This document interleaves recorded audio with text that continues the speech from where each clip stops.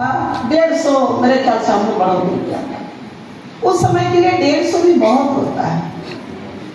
समय जैसा पार होता है। समय के अनुसार मांग बढ़ती है। और उसी कलखंड में हमारे राज्य के नौजवान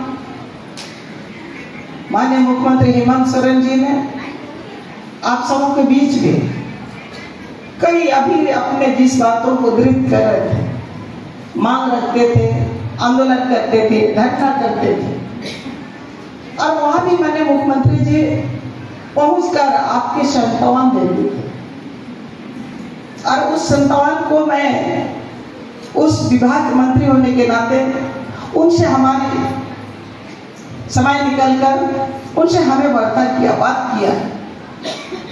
हम लोग ने सेविका, सहायिका बहनों के बीच संतावन तो दिए हैं।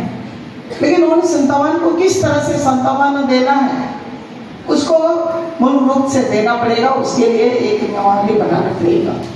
लेकिन अकेले नहीं बना पाएँगे संघ के पदाधिकारी को मिलकर हम किस तरह से इनका हित में नियम बनेगा तो इनका जो मौलिक अधिकार वो मिल पाए। है लेकिन प्रयास तो हुआ था लेकिन उस प्रयास में भी कहीं ना कहीं कुछ छूट गया ये बात हमें उसी समय अब के माध्यम से इस बात को कहा गया।